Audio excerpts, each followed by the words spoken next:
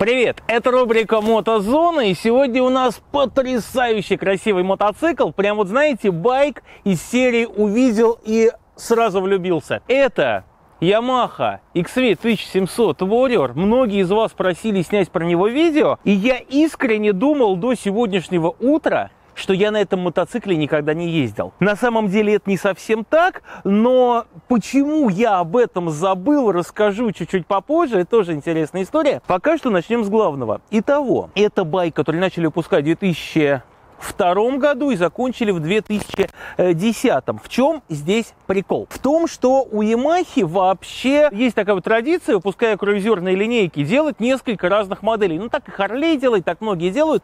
Но у Yamaha между этими моделями такая существенная смысловая дистанция. То есть, скажем, XVS 1300. Там есть страйкер, про который я тоже снимал, и есть такие более туристические модели, такие основательные, тяжелые. Это по-настоящему разные мотоциклы. Можно вспомнить 1900 500 серию, там опять же есть рейдер, такой свирепый маслбайк, и есть тот же, ну, старталайнер. И они, правда, очень разные, и мало друг на друга похожие. В случае XV 1700 ситуация похожая, потому что вроде бы все просто. И это семейство состоит из двух моделей. Одна из них это Warrior. По-моему, обозначение PC у этих э, э, моделек. И есть еще туристическая версия Roadstar. Там, правда, разнообразие уже побольше. Вроде бы в целом 4 примерно разновидности. Причем есть модификация э, Silverado, модификация Midnight и модификация Midnight Silverado. Вот такое вот широкое разнообразие. С вурьерами картина попроще, но вот что интересно. Вроде бы и там, и тут Yamaha XV 1700, но на самом деле это два в общем разных круизера, я вам хочу сказать. Потому что Roadster отличается рамой, отличается передней подвеской, отличается мотором, отличается назначением и отличается, вообще говоря, примерно всем. Вот такая вот картина. А что касается Warrior, то это такой, знаете, Power Cruiser, броский, мощный, быстрый и, надо сказать, классный. Снег, дубак и зима на улице, товарищи, но весна будет и будет обязательно лето, будет мотосезон, но уже сейчас имеет смысл вспомнить о том, что в линейке Беркут есть вот такой очень классный мотокомпрессор. Он компактный, он удобный, он эффективный и он, поверьте мне, надежный. Я не один десяток колес им накачал. А еще в линейке Беркут есть вот такие пускачи. Это GSL 15000. Он тоже удобный, тоже компактный, тоже классный и тоже надежный. Компрессор работает либо от розетки, либо от вот такого пускача. Поэтому компания Беркут предлагает комбо купить оба девайса сразу. Причем, кстати говоря, по моему промокоду это удастся сделать дешевле. Ссылки есть в описании. От себя я добавлю, что и компрессор классная штука, и такой пускач тем более, особенно для нас, мотоциклистов. Это же не только штуковина, которой заводят моторы, это еще и приличный пауэрбанк, который в поездках бывает ох, как не лишним. В общем, ссылки в описании, повторюсь, вещь стоящая, а мы продолжаем. Давайте-ка начнем с мотора, потому что он и выглядит классно, и ехать должен тоже очень и очень бодро. Пойдемте подойдем поближе. Интересно вот что.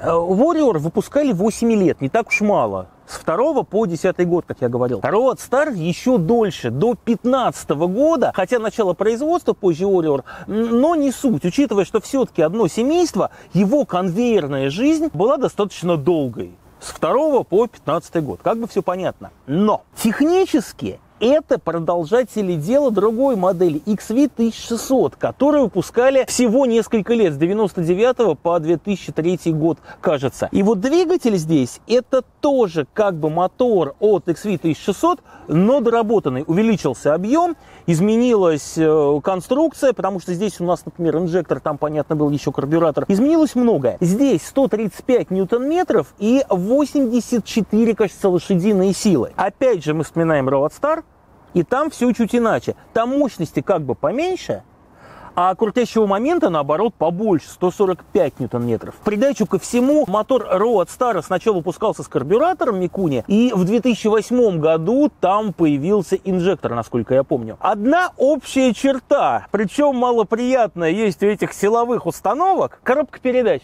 пятиступенчатая. И ключевая жалоба на эти мотоциклы, она в том, что им катастрофически не хватает шестой передачи. Потому что где-то там ты на 80 километрах в час включаешь пятую, и потом до конца поездки пытаешься врубить шестую, которой нет, если едешь э, в дальнобой. Э, Причем проблема в чем? Люди пытались что-то с этим сделать, найти либо какие-то тюнинговые коробки, а их нет. Найти что-то еще, этого чего-то тоже нет.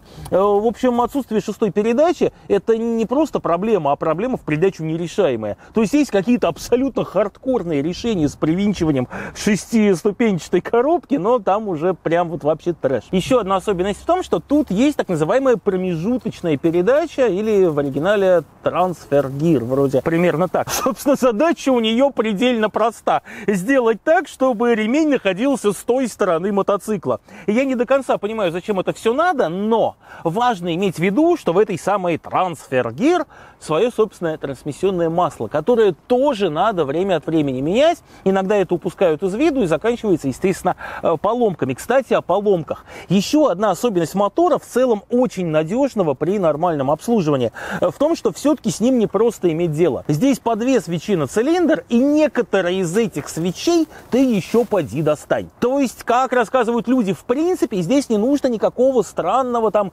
хитро выдуманного инструмента. Все, в принципе, делается совершенно обычным набором, но иногда нужны очень длинные, чрезвычайно ловкие пальцы, потому что не везде ты еще ими залезешь. Э, Два воздушных фильтра в своих корпусах. Вообще, ну, как бы достаточно непростой мотор. Еще одна важная фишка мотоцикла в том, что здесь у нас алюминиевая рама. Алюминиевая. А у родного брата этого мотоцикла, который Road Star, который туристический с кофрами, там рама стальная. И есть известное поверье, что алюминиевые рамы хрупкие, они легко трескаются, ломаются, но это из разряда мифов и легенд. Что касается боевой природы этого мотоцикла, это же Power Cruiser, вроде как быстрый, мощный байк, он про скорость? Да. Передняя подвеска на это недвусмысленно намекает. Потому что, опять же, в отличие от родного братца, у нас здесь перевернутая вилка, диаметр перьев 43 миллиметра. Кстати, перышки побольше у Roadstar, но там вилка, насколько я понимаю, классическая. Два тормозных диска, их диаметр примерно 30 сантиметров, по-моему, 298 миллиметров. Четырехпоршневые суппорты. Что важно, здесь радиальные тормоза, а на Roadstar тормоза обычные. То есть здесь все чуть более по-спортивному, чуть более заточено под агрессивную э, езду. Э, Пожалуй, ключевая деталь, которая вот лично мне по перву глаз режет в этом мотоцикле, хотя допускаю, что именно по перву, система выхлопа.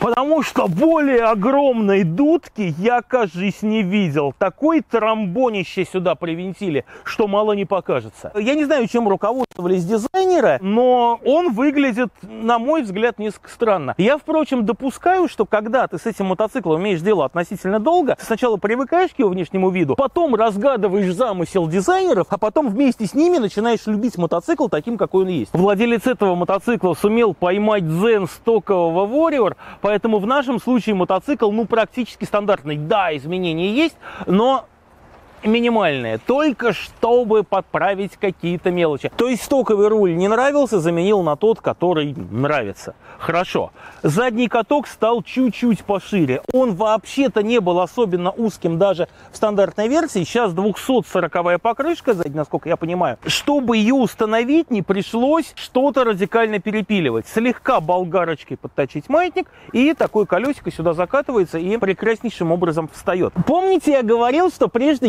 ездил на Warrior?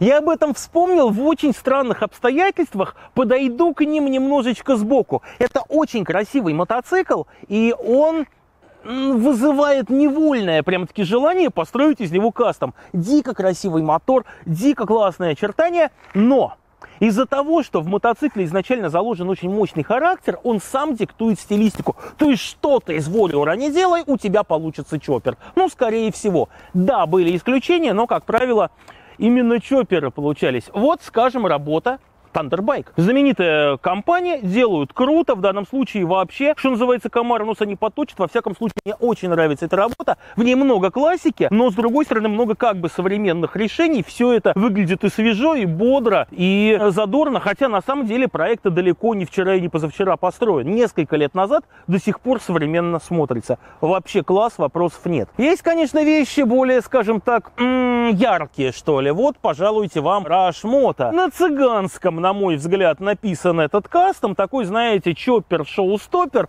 с полным набором всей этой необходимой атрибутики. От богатой графики до немыслимых размеров плуга. В общем, все как полагается. Кстати, бюджет проекта 72 тысячи долларов. Если это вдруг кому интересно, вот столько стоит красота по-американски. Но залез я в картинки, а это что у нас? А это работа белорусских парней из Спарта Гараж.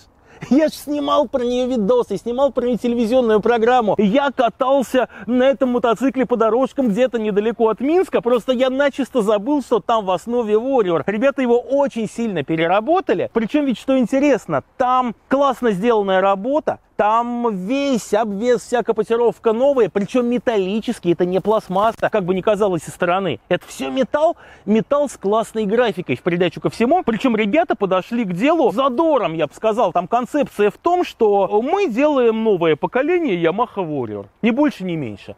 Вот японцы не хотят делать новое поколение, а мы хотим. В 21 веке вот так должен выглядеть этот мотоцикл. Такая мощная заявка на лидерство вполне оправдана результатом, потому что то, что сделали белорусы, ну, как минимум, не хуже работ крупных мастерских а зачастую, я бы сказал, и получше. В общем, Спарта Гараж красавчики. Кстати, вот чтобы эту тему раскрыть пополнее, я фотки э, понравившихся мне проектов, а может не понравившихся, единой такой подборочкой выложу к себе в Телеграм.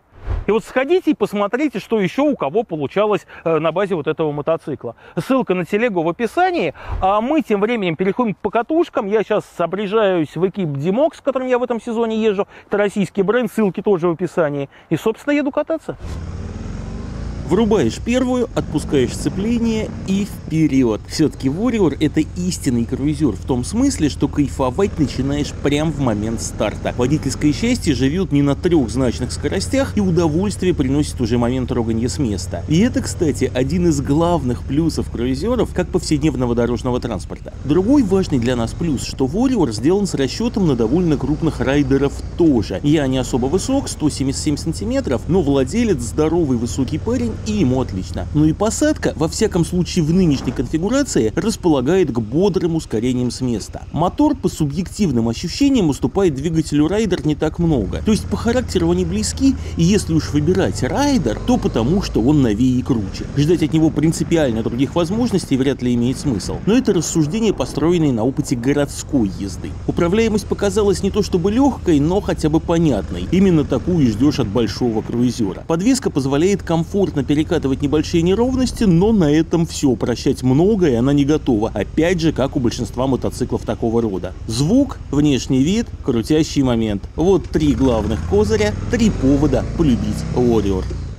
В целом этот байк не воспринимается чрезвычайно тяжелым, и с этой точки зрения он, наверное, является собой золотую середину между э, XVS 1300 и э, 1900 линейкой, потому что рейдер, да, он классный, да, в нем море момента, да, это прям брутальный, быстрый, такой лютый байк, э, летающая кувалда эдакая, но все-таки он тяжеловат, он не слишком удобен э, в ограниченных пространствах, маневрируя на нем, э, ты скорее страдаешь, чем наслаждаешься, вот все-таки Warrior, как мне кажется, это как раз нечто среднее это парень более мускулистый и злой, чем Страйкер, но не настолько тяжеловесный, насколько Рейдер. В общем, все, конечно, надо пробовать и примерять на себя, но пока такое ощущение. Очень гармоничная вещь, я вам хочу сказать, потому что он выглядит как едет, а едет как выглядит. И вот в этом кайф Warrior. Здесь форма полностью соответствует содержанию. Я не буду ничего говорить о том, сколько сегодня такие мотоциклы стоят, потому что ну, ситуация на рынке как бы непростая, к тому же она постоянно меняется захотите узнать цену, в конце концов, сами посмотрите. Я под занавес только порекомендую вам подписаться на мой телеграм-канал. В день выхода этого видоса я, наверное, вывешу туда э, подборку самых интересных, на мой взгляд, кастомов на базе этого мотоцикла. Ссылка на телеграм, естественно, в описании. А на этом у меня все. А с вас, ну, как обычно, лайки, дизлайки и, конечно, комментарии экспертов.